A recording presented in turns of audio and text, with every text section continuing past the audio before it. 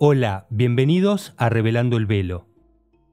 Hacia finales de la Edad de Bronce, varios pueblos semíticos que habitaban en la región del levante mediterráneo, como amorreos y cananeos, compartían características culturales y lingüísticas. Entre estas coincidencias había una muy importante y era la religión. Porque si bien tenían panteones con identidad propia, las principales deidades eran equivalentes, es decir, representaban el mismo rol arquetípico e incluso a veces tenían los mismos nombres. El dios El era la principal deidad de estos panteones, al que consideraban el padre de los demás dioses y de la humanidad, y cuyo culto estaba ampliamente extendido en toda la región. Él tenía varios hijos, entre ellos los más venerados eran Baal, Sham, Astarte y nuestro protagonista del día de hoy, el dios Dagón, una deidad que era más antigua que el mismo panteón semita y cuyo culto llega de una forma muy especial hasta nuestros días. Así que si el tema les interesa, les recomiendo que vean el informe hasta el final. ¿Por qué decimos que Dagón era más antiguo que el propio panteón semita? Porque su culto tiene raíces en los pueblos prehistóricos y presemíticos del área, pero ya en el período histórico, Dagón, inicialmente llamado Dagan, aparece en registros que relatan cómo era venerado y considerado el padre de los dioses y el creador del cielo y la tierra y por esto fue equiparado o sincretizado con los dioses supremos de culturas cercanas, como por ejemplo el dios Anu, sumerio y acadio. Su nombre original era Dagan, que significa grano, ya que se lo relacionaba con la agricultura y la fertilidad. Su mito decía que le había enseñado a la humanidad cómo plantar trigo y usar el arado. Pero con los siglos su culto se siguió desarrollando y también sufrió varias transformaciones. En algún momento se conectó el nombre Dagan con la palabra semítica Dag, que quiere decir pez, y a partir de entonces se empezó a representar como un dios mitad humanoide y mitad pez. De hecho, los mitólogos creen que esta imagen puede haber influido en la representación de la deidad babilónica Oanes en el posterior periodo helenístico. Si nos remitimos a lo puramente simbólico, la imagen de Dagón como una criatura mitad humana, mitad pez, significa la conexión entre los reinos terrestre y acuático, que a su vez es una metáfora para el equilibrio entre consciente e inconsciente. Pero paciencia que ya vamos a llegar a este punto. Entre los distintos pueblos semitas que le rindieron culto se encontraban los amorreos, que en cierta forma se pueden considerar como uno de los grandes enlaces culturales entre Mesopotamia y el levante mediterráneo, ya que interactuaron y se asimilaron en gran medida con las culturas cananeas durante su expansión desde Mesopotamia hacia el Mediterráneo donde el culto a Dagón fue muy exitoso y se le construyeron templos en algunas de las ciudades-estado más importantes, entre ellas Biblos, Tiro, Sidón, Ashdod, Gaza, Ugarit, Mari y Ebla. Algunos pueblos cananeos lo adoraron más que otros, como por ejemplo los fenicios, y si bien los dioses del panteón fenicio a menudo tenían posiciones intercambiables o variaban de una ciudad-estado a otra, en ocasiones se lo llegó a considerar como el hermano de Baal, llamando Baal Adad a uno y Baal Dagón al otro. Pero el culto a Dagón fue especialmente popular en un pueblo que ni era semita ni era autóctono de la zona, los filisteos, que eran descendientes de los pueblos del mar, los piratas micénicos que asolaron el levante mediterráneo durante el final de la era de bronce. Y si bien existen muchas fuentes sobre este suceso, la principal es aportada por los hebreos. En la Biblia, el dios Dagón se menciona tres veces. Primero en Jueces 16:23, donde se cuenta cómo los príncipes filisteos hacen un gran sacrificio a Dagón por entregarles a Sansón. Esto justo antes de que Sansón derribara el templo de Dagón, matando a muchos filisteos y asimismo en el proceso. En Crónicas capítulo 10 versículo 10 también se describe cómo los filisteos colgaron la cabeza decapitada de Saúl en el templo de Dagón, lo cual técnicamente es una ofrenda humana. Y en tercer lugar, tenemos que en Samuel 1, capítulo 5, se relata una historia en la que el arca de la alianza es llevada al templo de Dagón en Ashdod después de que los filisteos la capturaran. De estos textos bíblicos se puede establecer que el culto a Dagón entre los filisteos debió haber sido el más popular y que parece haber llegado a un ritual muy desarrollado y elaborado, que posiblemente implicara sacrificios humanos, aunque la evidencia arqueológica sobre esto último es limitada y se remite a fuentes externas, como por ejemplo las bíblicas. Filón de Biblos, un erudito fenicio del primer siglo de nuestra era que intentó transcribir las antiguas escrituras fenicias al griego, relataba que según una antigua leyenda fenicia, Dagón era uno de los cuatro hijos nacidos del Señor del Cielo Anu y su hermana la Tierra. Filón también lo identifica como el equivalente fenicio del cronos griego, lo cual es respaldado por fuentes ugaríticas que equiparan a Dagón con Kumarbi, el cronos de los urritas.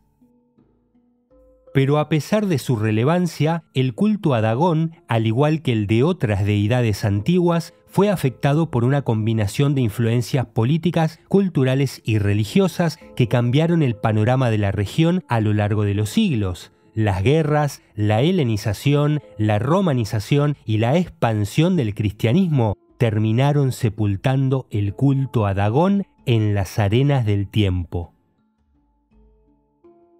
Ahora bien, a lo largo de la historia humana, las deidades panteístas a menudo han sido asimiladas o se le han asignado roles arquetípicos en diferentes sistemas religiosos, espirituales o mágicos, siendo un ejemplo clásico la utilización de los panteones griego y romano en el ocultismo. Y en tiempos modernos, con el advenimiento de la extensa actividad ocultista a finales del siglo XIX y principios del siglo XX, que llegó a tener participantes tan mediáticos como Elena Blavatsky o Aleister Crowley, varias deidades antiguas fueron reutilizadas en el ocultismo occidental y activamente incorporadas en prácticas mágicas. Debido al secreto, en general es muy difícil identificar los acontecimientos puntuales que conducen a la integración de una deidad en el marco de prácticas ocultistas. Pero en este caso tenemos la suerte de encontrarnos con una excepción, ya que Dagón comienza su resurrección como un arquetipo clave en los mitos de Cthulhu de H.P. Lovecraft. De este conjunto de trabajos surge el mito de los grandes antiguos, deidades que habitaban la Tierra mucho antes de la aparición de la humanidad, y entre las cuales se encuentra Dagón, un dios de las profundidades marinas. Este mito moderno se ha empleado como base para la manifestación actual del culto a Dagón. Preguntarse qué diferencia hay entre un personaje de ficción moderna y un dios panteónico de la antigüedad es equivalente a preguntarse qué diferencia hay entre un mito antiguo y uno moderno. Y la respuesta es sencilla. La única diferencia se encuentra en la calidad de la pluma que compuso el mito, es decir, en la mente que lo plasmó. Si están bien compuestos, ambos mitos pueden ser utilizados para los mismos fines. La reputación literaria de Lovecraft se basa en una obra no muy extensa, que consta de alrededor de 60 cuentos, pero que le valieron un enorme reconocimiento. Estas historias están interconectadas en un corpus muy complejo y elaborado que une mitología antigua y ficción, y son conocidas colectivamente como los mitos de Cthulhu. Dagón reaparece en la imaginación humana moderna en una historia de Lovecraft llamada La sombra sobre Innsmouth. Este cuento describe la existencia de un culto llamado Orden Esotérica de Dagón en una ciudad costera llamada Innsmouth. El culto adora secretamente a un panteón de antiguas deidades marinas y principalmente a los dioses supremos Dagón y su consorte Hidra. Los miembros del culto de Dagón practican rituales y ceremonias y ofrecen sacrificios humanos para asegurar su prosperidad y obtener favores divinos como la fertilidad y la pesca abundante. Ahora bien, muchas décadas después de que Lovecraft imaginara la orden esotérica de Dagon, esta se materializó en la realidad como una logia mágica funcional compuesta por un pequeño grupo de iniciados. Veamos, algunos grupos esotéricos y ocultistas modernos han adoptado nombres y conceptos de los mitos de Lovecraft, especialmente en el contexto de la magia del caos, incorporándolos en sus rituales y sistemas de creencias. Estos grupos a menudo toman elementos de la literatura, la mitología y las religiones antiguas para formar nuevas prácticas espirituales y mágicas. Una figura clave en este fenómeno fue el ocultista Kenneth Grant, fundador de la OTO tifoniana, quien fue un influyente mago y autor ocultista que incorporó muchos de los conceptos de Lovecraft en sus teorías y prácticas esotéricas y que vio a los dioses de los mitos de Cthulhu no solo como ficciones literarias, sino como manifestaciones de verdades arquetípicas y metafísicas. Esto abrió la puerta para que otros practicantes del ocultismo vieran la obra de Lovecraft como una fuente viable de simbolismo para las prácticas esotéricas. Y les voy a contar la historia porque es muy interesante. Después de la muerte de Aleister Crowley, Kenneth Grant se convirtió en el líder de la rama británica de la Ordo Templi Orientis, pero con el tiempo sus enseñanzas y prácticas comenzaron a discrepar del sistema tradicional de la OTO, esto llevó a Grant a desarrollar la corriente tifoniana, que incorporaba una mezcla de teurgia, el trabajo de Austin Osman Sper, que puede considerarse como protomagia del caos, y los caracteres arquetípicos de las deidades de los mitos de Cthulhu. Grant se interesó por la obra de Lovecraft y la utilizó como una fuente de inspiración oculta, integrando el panteón de los mitos de Cthulhu y entre ellos a. Así fue que utilizó a estas figuras arquetípicas de deidades oscuras para representar energías cósmicas y espirituales ocultas más allá de los confines del orden y la moral tradicionales, es decir, lo que Carl Jung llamaría la sombra. En una serie de libros conocidos como la trilogía tifoniana, que datan de la década de 1970, Kenneth Grant presentó una serie de afinidades entre los escritos de Lovecraft con aspectos del culto telémico de Crowley. Y después, para crear una mitología con más peso, desarrolló conexiones cabalísticas, a veces un poco a la fuerza, entre las deidades de los mitos de Cthulhu y los Clifot del árbol clifótico. En la trilogía tifoniana, Dagon se presenta como un Neptuno oscuro, y su adoración se describe como la supervivencia de un culto prehistórico a los dioses de la profundidad, lo cual tendría un giro argumental sorprendente, porque para esto Grant empleó la gematría en sus estudios ocultistas. En esta práctica se considera que las palabras que comparten el mismo valor numérico tienen una relación o conexión espiritual simbólica y de alguna manera se explican entre sí, Grant dijo que por estos medios descubrió el verdadero origen del antiguo dios y aseguró que Dagón era el dios principal de los antiguos atlantes. En su libro, Grant dice que la palabra Dagón corresponde cabalísticamente al número 777, que es un número muy especial aunque hago la aclaración, cuando yo estaba revisando la información para hacer este informe, encontré que a mí me dio otro número, por lo menos con la transliteración al hebreo más cercana, donde Dalet más Gimel más Vav más Nun me da 713, Así que si alguien sabe de gematría, por favor que me explique en los comentarios dónde me estoy equivocando, porque salvo que Grant usara una transliteración muy alternativa, no puedo encontrar dónde está el error. De cualquier forma, Grant dice que el valor 777 relaciona directamente a Dagón con la frase el mundo de los Clifot, lo cual también revisé y en este caso sí es correcto. El mundo de los Clifot 777 es el reverso oscuro o el espejo del árbol de la vida, a veces también llamado árbol de la muerte, y cuyas regiones están habitadas por potencias que podríamos considerar vulgarmente como demoníacas. Grant también hace otras conexiones adicionales de Dagón con la entidad telémica Aiwas, con el Baphomet de los Templarios y con el gallo de los Yesidíes.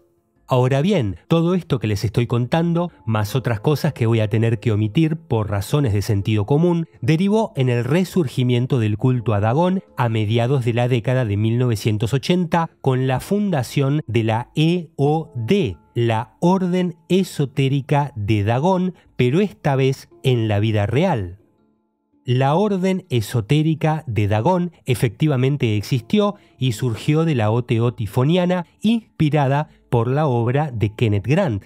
Esta orden mágica toma elementos de los mitos de Cthulhu, especialmente aquellos que giran en torno al dios Dagón, y es un grupo íntimamente relacionado a la magia del caos, ya que la magia del caos es un sistema de prácticas esotéricas que enfatiza la funcionalidad sobre la estructura dogmática, es decir, permite a los practicantes adaptar símbolos y sistemas de creencias de diversas fuentes, lo que sea con lo que el operador se sienta cómodo para crear su propia metodología personalizada. En este caso, el uso de Dagón de manera flexible y adaptativa para intentar explorar y manipular la realidad según la voluntad del practicante. Acá, Dagón como valor simbólico arquetípico encaja muy bien con el concepto tifoniano, ya que este se refiere a la exploración de las profundidades acuosas, es decir, los aspectos más oscuros, densos y caóticos del inconsciente, utilizando la figura de Tifón, un monstruo marino de la mitología griega asociado con tormentas y caos. La orden esotérica de Dagón, por lo tanto, puede ser considerada una de las muchas ramificaciones del pensamiento y la práctica ocultista del legado tifoniano, aclarando que estas prácticas son típicamente esotéricas, es decir, cerradas y ocultas y pueden variar dependiendo del grupo específico y sus interpretaciones de los conceptos originales. Hasta donde se puede saber de manera visible, cada uno de estos grupos operan bajo el control de su respectivo maestro de logia y todos a su vez bajo una dirección central. Poseen un sistema de grados y por su relación con la OTO tifoniana es común que haya miembros activos en ambas órdenes, aunque cada una conserva su propia identidad y programa de trabajo mágico donde los iniciados buscan explorar en la matriz de la imaginación para forjar sus propias conexiones con las fuerzas y energías que se encuentran más allá de la conciencia.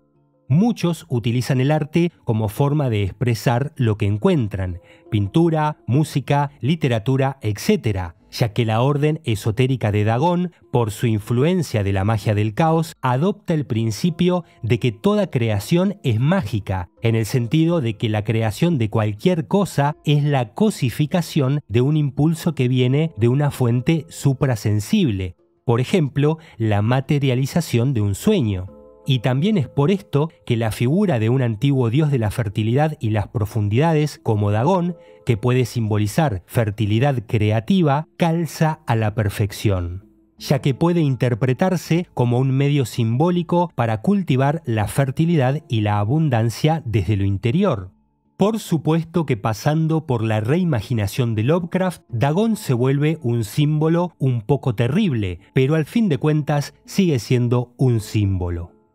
Finalmente, las raíces prehistóricas del antiguo dios Dagón siguen siendo misteriosas y confusas. Sin embargo, en la Edad de Bronce, a lo largo de la costa oriental mediterránea, se desarrolló una doble concepción y representación de Dagón, como un dios de las profundidades oscuras, pero a la vez de la fertilidad, aunque como hemos visto, si se le busca la vuelta, quizás ambas caracterizaciones pueden tener algún tipo de conexión. En el ocultismo occidental moderno, Dagón resurgió como resultado directo de los escritos de H.P. Lovecraft y de ocultistas experimentales como Kenneth Grant, aunque esto es redundante ya que la magia siempre es experimental. Como fuese, la posterior manifestación de la orden esotérica de Dagón es un testimonio de la omnipresencia y del poder que han tenido y tienen los caracteres arquetípicos en la historia humana, donde un antiguo dios mesopotámico puede tener algún lugar en la sociedad contemporánea. Queridos amigos, que tengan un buen día donde quiera que estén y miren con cuidado qué hay en la punta de sus tenedores. Si llegaron hasta acá, no les queda más remedio que suscribirse y dejar su opinión, un pedido o un saludo en los comentarios. Como siempre, les agradezco a los sponsors oficiales del canal, a los mecenas de Patreon, porque son ellos los que hacen esto posible. Hasta la próxima.